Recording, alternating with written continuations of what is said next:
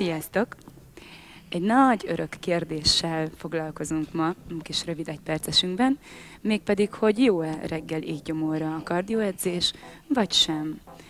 Alapvetően én annak a híve vagyok, és azt javasolnám, hogy ha már a fogyókuratoknak az utolsó szakaszában tartotok, és pár kilogramról van szó, valamint eléggé stabil a vércukorszintetek, tehát bírjátok az edzést reggel, akár étgyomorra is, vessétek be ezt a taktikát, mert nagyon-nagyon hatékony.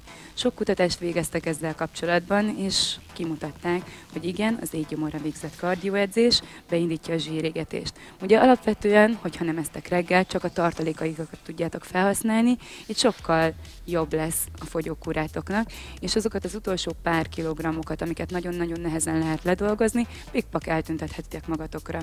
Úgyhogy irány a kardioterem, reggel, így gyomorra, és egy pici interval tréning, egy kis futás, egy taposás, hogy jobban induljon a nap, és hogy gyorsabban olvadjanak a kilók. Thank you.